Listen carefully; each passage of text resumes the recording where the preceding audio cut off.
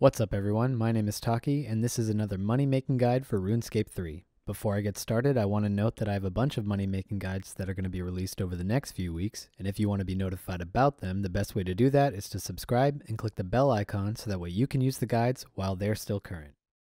Hey guys, this is going to be the first in a series of AFK money making guides that I'm going to be producing for this channel. In this guide, we are going to be mining soft clay in Prifddinas. The requirements for this method are the Plague's End quest and the Easy Varrock achievement set.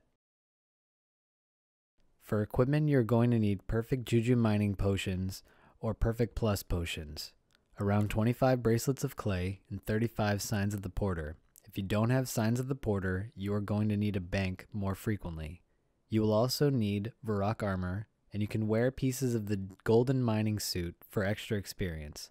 After that, you're going to need a Beast of Burden familiar, and finally, you should go after the Shooting Star buff for extra GP. When you're ready to go, set yourself up in the Ithel district during the Ithel hour. This will ensure that you don't need to worry about the soft clay rock depleting. Your character will continue to mine for the entirety of the hour as long as you have the suggested equipment.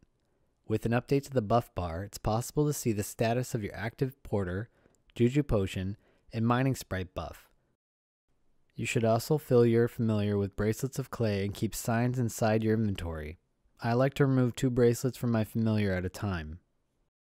Place a sign of the porter and a bracelet on your action bar.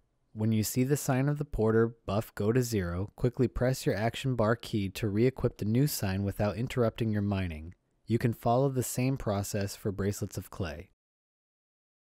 I also suggest that you edit your interface so that way you can see your familiar's inventory on screen. If you have your familiar's inventory window on screen, you can simply click on the bracelets to move them to your main inventory without losing any time.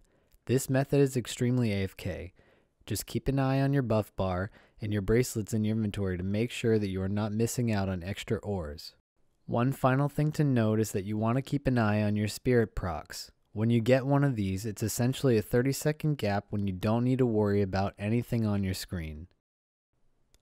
I only managed to run this test for 26 minutes, but my run came out to be around 3 mil an hour. This would have been more if I had the shooting star buff, which you can hold by logging out and waiting until there is an Ithel hour. That's all for this guide. If you enjoyed it, please give it a thumbs up, and if you're not already subscribed, please consider doing so. Taki out.